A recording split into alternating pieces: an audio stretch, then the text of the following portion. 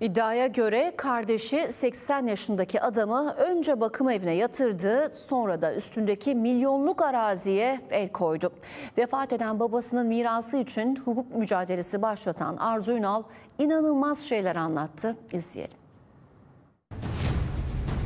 Babamın tedavilerini yapmadılar. Bilerek ölüme terk ettiler.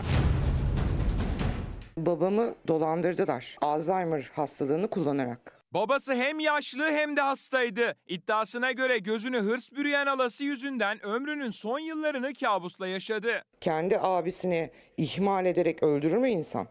Mal için değer mi? Arzu Ünal'ın babası 80 yaşında Alzheimer hastasıydı. İddiaya göre halası Maltepe'de kendisine ait bir bakım evine babasını zorla yerleştirdi. Yani buna hiçbir şekilde rızaları yoktu. Zaten süreç böyle başladı. Babama karşı borç seneti düzenletildi bu bakım evi tarafından ve tarafına haciz işlemi uygulanıp arabasına haciz konulduğunu öğrendim. Babası bakım evindeyken hiçbir şekilde yüz yüze temas kuramadı. Sürekli telefonla iletişim kurmasına izin veriyorlardı. Biz normal ilişkilerimize devam ediyorduk. Hiçbir şeyden haberimiz yoktu. Babama dedim sakın bir şey imzalatıp elinden almaya kalkmayın dedim. Seni hiç ilgilendirmez abimin malı dedi. Bunun nedenini yeğenine sormaya gittiğinde ise aralarında bir tartışma başladı. O tartışmada yeğeni büyük bir itirafta bulundu. Bana dedi ki e, dayımın arsasını ben üzerime aldım.